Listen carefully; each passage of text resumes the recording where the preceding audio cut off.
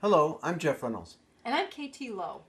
And we're, go- we're going to be presenting a reading from Blankets by Craig Thompson for Banned Books Week. Banned Book Week.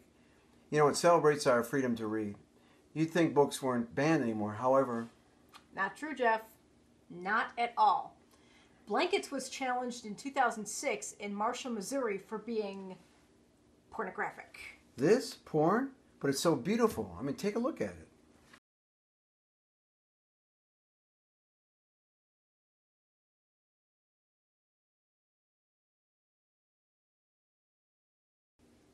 Luckily, the book was added back to the shelves, but not after being removed for review and access- inaccessible to the public.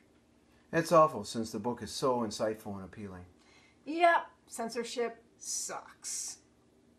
However, the book was a winner was a was a winner of numerous awards. It won a Harvey Award for Best Artist and an Ignatz Award for Best Graphic Novel, and it was also number eight for Best Graphic Novels of the Decade by Time Magazine. Shall we take a look and so that people know why it's so great? You bet.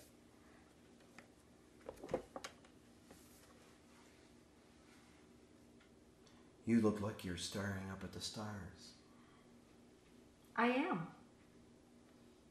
You can see through the ceiling, can't you? I can. So, whatever happened to Snowball? My parents returned him to the pet store one day without telling us. Too much to handle. And then she sang to me. Show me how you do it, and I promise you, promise that I'll run away with you. It was almost a whisper. And I'll run away with you. a whisper of exhaustion as she muzzled her forehead deep into my shoulder. Craig, Yes, please don't ever leave me. I will. I promise. And then she fell asleep. So, what's this book about, do you think?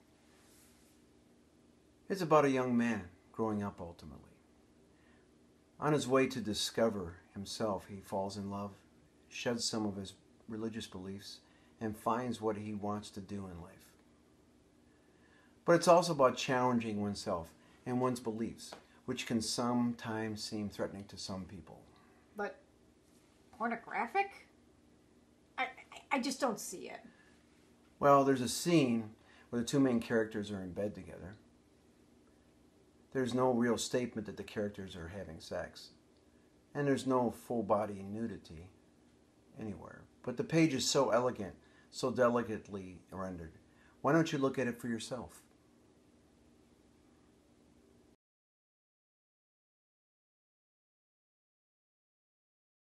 Wow. Just wow. Okay, I still don't see it. But but the point is we have a right to read whatever we want. That's right.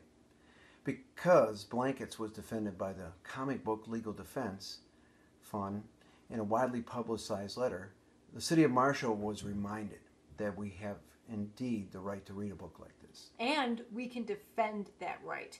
The Comic Book Legal Defense Fund is a great source for learning about your rights as a reader and what you can do to stop censorship in your hometown. You may also check out the American Library Association and the Freedom to Read Foundation for more information on this subject. You know, the First Amendment guarantees that you can read whatever you want. That's right. And I do. I do too. Shall we read some more? Yeah. Here's my blanket.